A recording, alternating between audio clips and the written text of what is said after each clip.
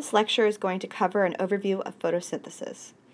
So I've redrawn that cycle we drew in one of the other videos showing the connection between photosynthesis and cellular respiration, the inputs and outputs um, uh, of both those parts of the cycle. So we're going to focus on this part here at the top, the photosynthesis, right now.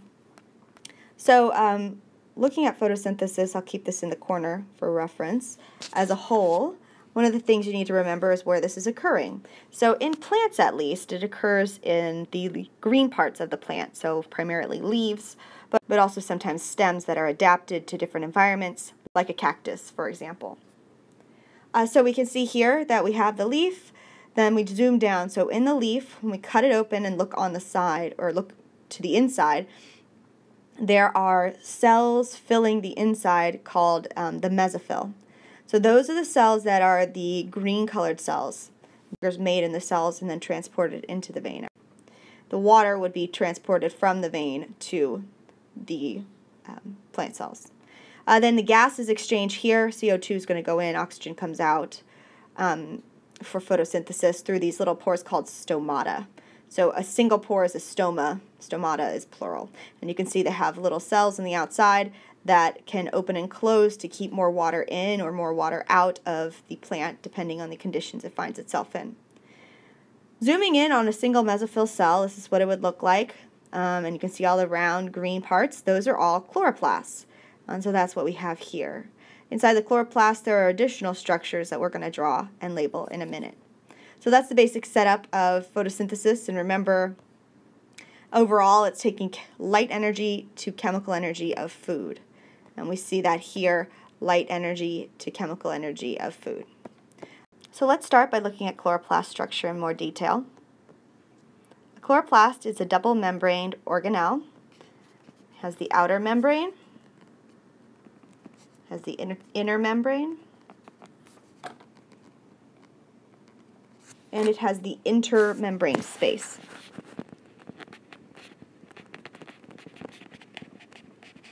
Intermembrane space. Then um, we should note that the outer membrane came from when the original photosynthetic bacterium was engulfed by the eukaryotic cell. We can actually see evidence of that in the composition of that outer membrane.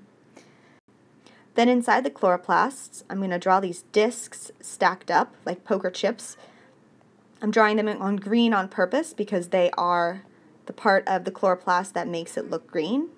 They contain pigments in their uh, membranes called chlorophyll, as well as other kinds of pigments, carotenoids. And if we look at them, one whole stack is called a granum.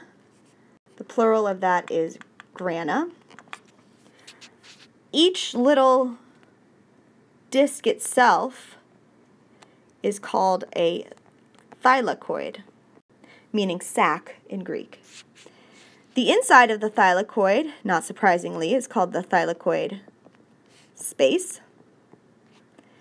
And the membrane of the thylakoid is called the thylakoid membrane. The fluid that we have outside the thylakoids is called the stroma. Sort of think of that as the fluid filled empty space.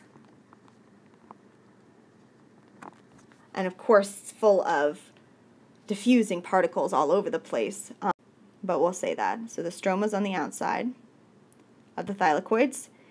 So that's pretty much what our chloroplast looks like. I'll put that over here for reference. Uh, if we look at it um, in um, a transmission electron micrograph, we see that these are the stacks. These are the, um, it's the granum, and each little disc is a thylakoid, and you can see that they're connected together. This whole thing is the chloroplast. It's a slice through it.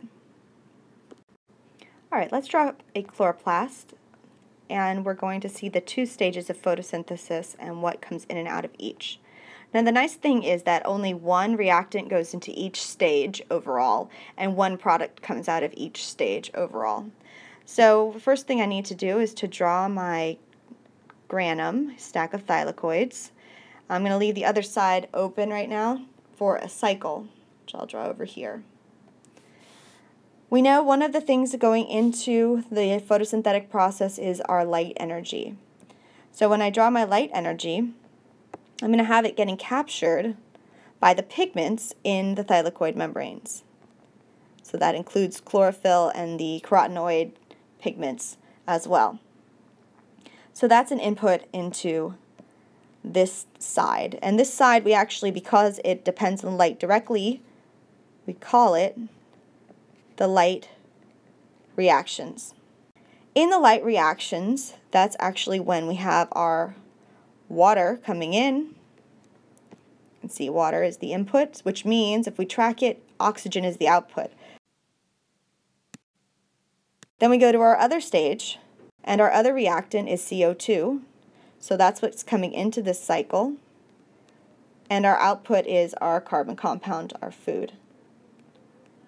So the nice thing is here that all the C's go together. The carbon compound, the CO2, of course, the carbon has to come from somewhere, and then the Calvin cycle. So that's the way you can remember it, is that it's all the C's. Calvin cycle, carbon compound, carbon dioxide.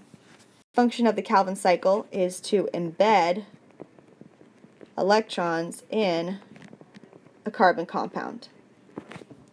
That's going to make it highly energetic, and that means that it can be used to be broken down later and release a lot of energy. So we're going to embed electrons in the carbon compound. The purpose of the light reactions is going to be to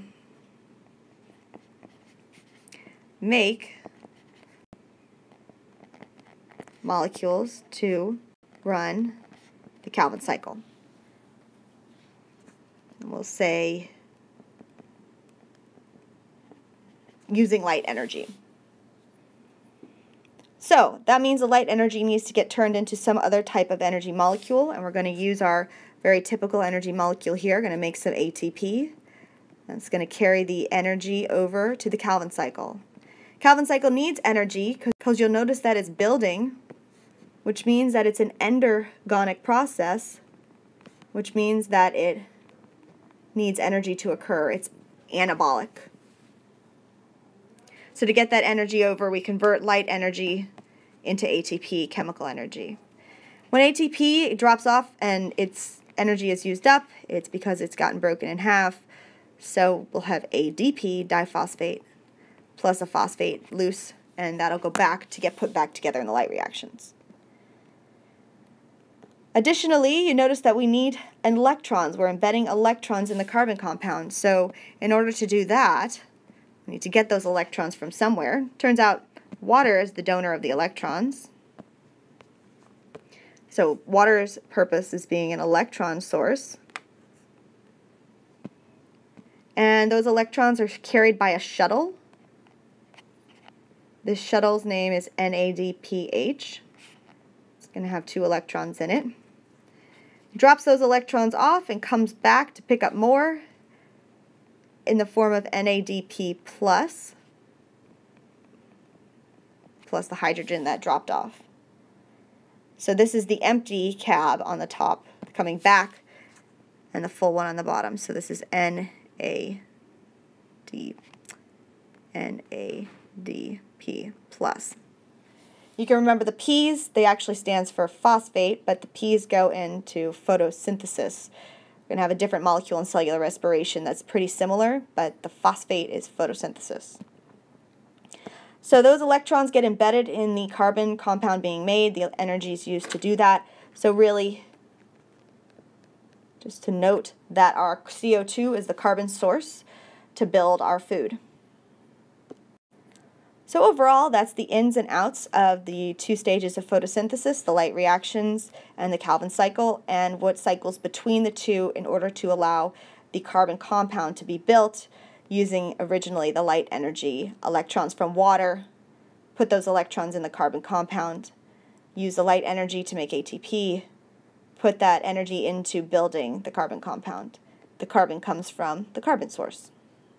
And there's recycling of molecules between the two stages.